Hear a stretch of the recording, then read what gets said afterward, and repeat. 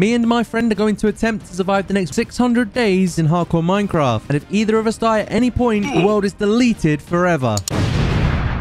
It's day 501 and we are back. It feels so good to be back on a 100 days world, especially the one where all of this started. The first thing we did was say hello to all of the animals in the barn, then to the horses, our villagers, and last but not least, our good friend Waffle. Now I look back on it, it was incredibly lucky that I got a brown panda in my first ever time breeding pandas. That's some crazy luck. But after saying hello to Waffle, it made me realize that we've been very bad owners and we left him for 500 days without a friend. So the next thing to do was fly to a jungle biome to bring him on home. We came across the jungle with a lot of bamboo on day 502, but there was no pandas to be found. It was time to find another. We were successful on day 503, and we were super happy. But then we remembered that it was a long way home, and it was probably going to take a while. So we began traveling home on days 504 and 505 with our new panda friend in the boat with Jordan flying ahead to guide me. Eventually on day 506, home was on the horizon as we saw our creeper farm. It's always a good thing to look out for when we're trying to get back home. As we approached land, Jordan then used this elite piston tactic to get the panda up the hills while still in the boat. I say elite, it's not really elite, it was just clever thinking from Jordan. We then got the panda in as the sun was setting and we bred them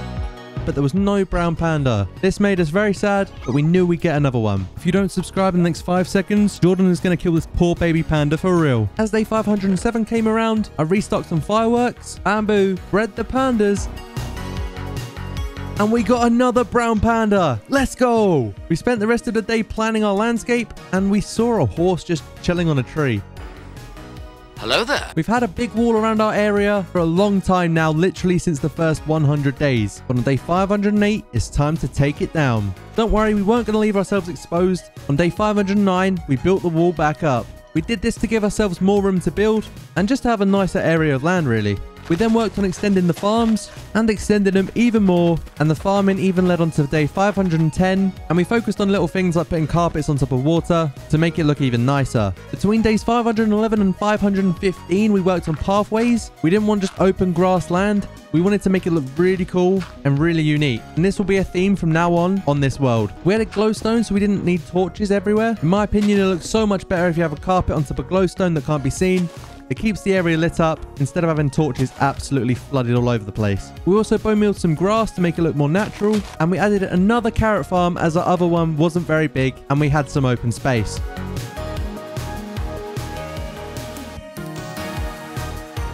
I grabbed some iron from the iron farm. As you can tell, we had quite a lot. And then I went down to the mines to get some obsidian because we had none at all. You'd think 500 days in we might have some obsidian lying around. Well, not us. I then crafted the beacon, mined out the area for it,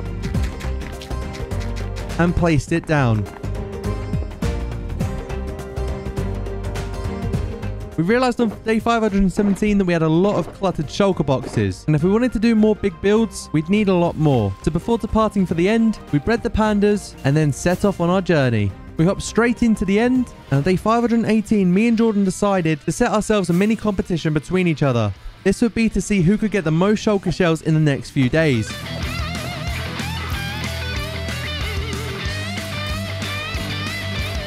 We met up again on day 523, and it turned out that Jordan was victorious. He'd found quite a few more than me. When we got back, we crafted them straight away and placed them all down to see how many we had. As you can see, we had quite a lot.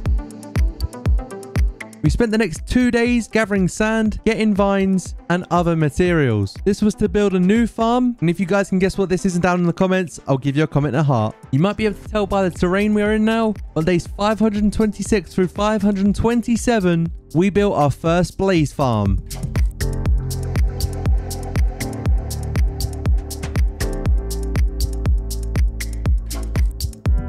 Once the build was done, we were pretty happy. There was a lot of blazes and there was a lot of blaze rods to be made. But we decided to head back to the overworld to get more vines, get more sand, smelt all the sand, get a few lava buckets, as we wanted to make another one. When Jordan found this blaze spawner, he told me that there was another one nearby. So we located the second one whilst killing a lot of mobs along the way. And once we were there, we began construction.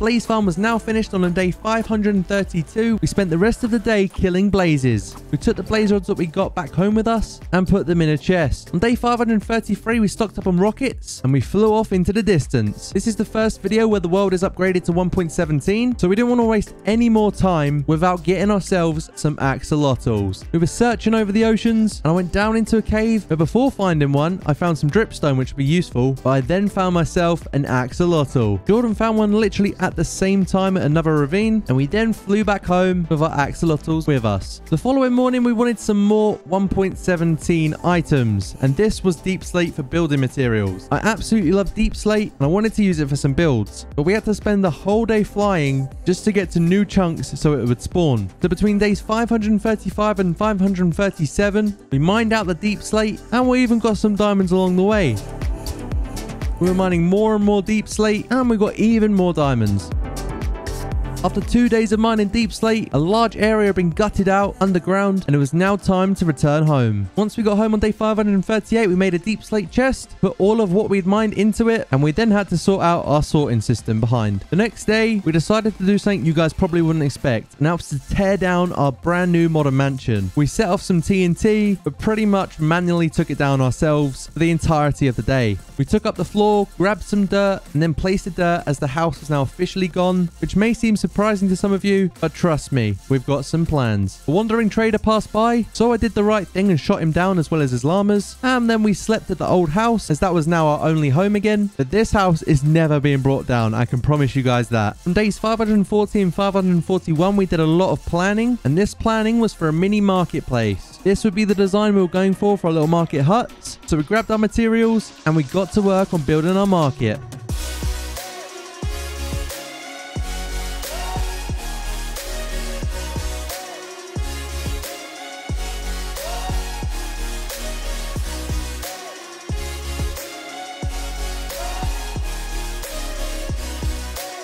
On day 547, we decided we needed a staircase. The terraformed hill that we made was pretty cool, but we wanted a more aesthetic way of getting up on top of the hill. So using the deep slate that we just got, we made a deep slate staircase with some quartz on the sides. Jordan then built a real cool centerpiece, which was a new fountain. And I thought that was a really nice touch as a centerpiece to be in the middle of our villager trading hall and our storage system. We wanted some sea lanterns, so on day 548 we flew to the Ocean Monument, but we were pounded by guardians as we tried to get some, so we only got a handful before flying home. Jordan then placed the lanterns inside the fountain, and I'm sure at night this will look a lot cooler. Like we'd done at the beginning of the episode, we decided that we couldn't have a fountain and a staircase and a storage system without pathways connecting it all. So for the next two days, we dedicated our time to making some custom paths. We've done a lot of building and a lot of designing so far, so we decided to take ourselves away from what we were doing and build another useful farm. So we needed more materials, and with that included turtle eggs. I also realized that I needed a mending book for my silk touch pickaxe. It wasn't yet netherite, but I'm sure I'll get to that another day. So I grabbed a mending book from our villager, and we dived straight into the end, where we spent the next day mining down a tower for a healthy amount of obsidian. I think altogether we got about two stacks, and this was going to be more than enough. Once we'd finished this long and boring task, we flew down to our enderman farm. I already had enough XP, so straight away I applied the mending book to my silk touch pickaxe and began repairing all of my armor and tools by killing the enderman for XP. We were now fully repaired without any fear of breaking stuff and we felt a whole lot better for it. On day 554 I brewed some night vision potions and some water breathing potions. These would become extremely handy in what we were going to build next. Before we start building it, can you guys guess what we're about to build in the comments down below? From day 555 onwards, we started building a trident farm. We wanted to upgrade our swords to a more devastating weapon. We knew tridents were rare, so we decided to make ourselves a farm. We finished it off by placing hoppers in towards a chest and then made our killing area. Oh, and I also set us on fire with lava. Almost burnt us to a crisp, but we're fine. As you guys can see, this farm is insanely slow. I think we might have done something wrong, so we took ourselves back into the overworld and spent two whole days destroying land underwater to improve the spawn rate. But again, it was slow as hell. So after a little bit of research and trialing and testing things, we then AFK'd it and these were the results. On day 565, we got ourselves some torches to mine for more diamonds. We flew far away to new chunks and dug down to the perfect layer for finding diamonds. Jordan started it off in true Jordan fashion.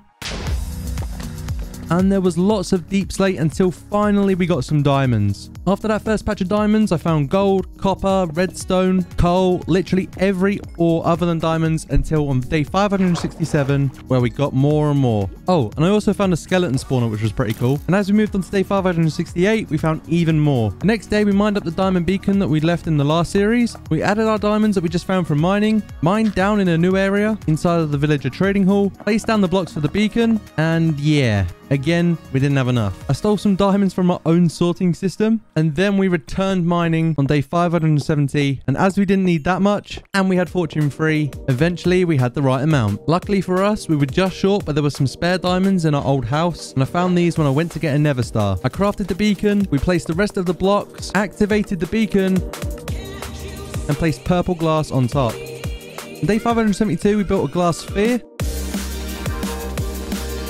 and the next day we filled it with water. We decided to put our axolotls inside of the water and we bred them to hopefully keep breeding them to have it full of axolotls. On day 574 we started building legs and the structure around the sphere.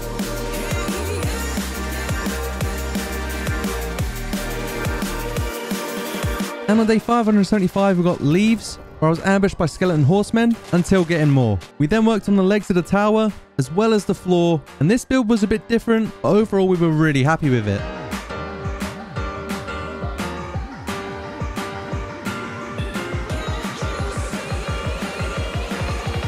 After this, we decided to add some street lamps. These would contrast really nicely with our pathways and keep the area lit up without the excessive use of torches. This is what they look like when it turns to nighttime. On day 578, I AFK'd the iron farm while Jordan AFK'd the gunpowder farm. This was how much gunpowder we had, and this was how much iron we had. We then went to go get sand the next day, and we had a full shulker box eat pretty rapidly due to efficiency 4 shovels. Jordan being the daredevil he is, decided to put on a show and jump off the mountain next to us. When we got back, we crafted some TNT. We definitely went overkill with the amount of sand that we got. We checked the gunpowder chest and we had a fair amount left over. I then grabbed some extra rockets and we made two flint and steels and we were ready. Next thing we did was jump straight through the nether portal. On day 580, we found a bastion that was pretty close to our spawn. We then laced it with TNT. And when I say laced it, I mean filled it with TNT. And Jordan was our demolition expert and set it all off. It didn't all blow up at once, so we set the rest of it off, and this was the result. On day 581, we dug down to level Y15, and Jordan placed TNT whilst I mined it, and I almost died. Well, kinda. Being the jokester that he is, Jordan also tried to blow me up, and it turned out that we placed the TNT too far apart, but eventually it worked, and I tried flying under the lava, but it's not a great idea, guys. For all of day 582, I went through mining and trying to find through lava all of the ancient debris. On day 583, we were back home, and Jordan gave me all of the ancient debris that he'd collected. We smelted it all, and coincidentally, we had the perfect amount of gold in the chest that we already had to go with it. Using this ancient debris, I crafted netherite ingots, and then crafted a netherite block. We placed it at the end of our path, and phantoms tried ruining the party, but I shot them down pretty well. Day 584, I went to go get the iron and a lot of it, as well as some jack-o'-lanterns. We then flew off to find a pillager outpost to get a bad omen effect. We found a village soon after and placed in a ridiculous amount of iron golems. The raid had started and these iron golems were going in. They were going absolutely ham, uppercutting the pillagers and witches left, right and centre, and even the ravengers. But by the end of day 584, we were victorious, with a lot of help from the Iron Golems. On day 585, to thank these Iron Golems for their hard work, we decided to leave a massive iron flag to commemorate them for their great efforts in this raid. We returned home on day 586, got a load of materials together, did a healthy amount of planning, and spent the next 10 days building little houses to go of our marketplace. We wanted to populate this area really nicely, and this is how it turned out. I've got to say we were really, really happy with the results of this. It felt like it gave a purpose to what we were trying to build, and there would definitely be a lot more of this to come. On day 597, we decided to go back into the nether to get some ghast tears. We went to respawn the dragon and prove to ourselves we could kill him again, so we needed some end crystals. And once we'd made these, we spent the next day preparing by making potions that we'd take into battle. It was day 599, and we were running out of time very fast. We hopped straight into the end, got to the center, and respawned the dragon. We quickly shot down the towers. We were getting some good bow shots in. And when the dragon perched, we got some good hits in. Until eventually, with one final blow, the ender dragon was dead. We had done it. We'd slain the ender dragon. And that is it, guys. We survived 600 days of hardcore Minecraft. Also, if you enjoyed, make sure to subscribe. It's 100% free and you can always change your mind later. Leave a like if you enjoyed the video and we'll see you in the next one.